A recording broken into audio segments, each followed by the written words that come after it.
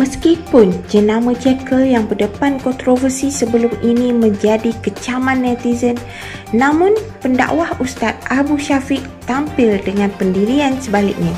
Abu Syafiq beranggapan nasib yang melanda gedung tekstil itu tidak ubah seperti apa yang telah berlaku terhadapnya baru-baru ini.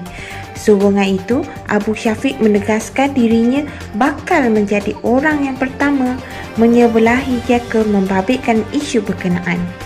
Abu Syafiq turut memberitahu sebagai salah satu bentuk sokongan beliau akan mendapatkan kain di Jekyll untuk didemakan kepada golongan masyarakat yang memerlukan.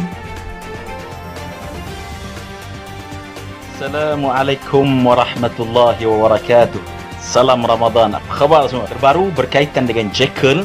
Apa yang berlaku kepada Jekyll kali ini hampir sama apa yang berlaku ke atas saya iaitu namimah melaga-lagakan antara umat Islam fitnah di bulan Ramadan dengan sifat dengki dan sebagainya saya ingin mengisytiharkan bahawa saya orang yang pertama yang akan support Jekyll insyaAllah kita akan beli kain di Jekyll kita jahit untuk pelajar-pelajar tahfiz orang yatim, orang miskin, orang yang susah, orang yang memerlukan supaya kita support Jekyll yang membantu bangsa Melayu dan umat Islam khususnya yang ahli sunnah wal jamaah. So kita nampak siapakah di belakang pengkhianatan ini.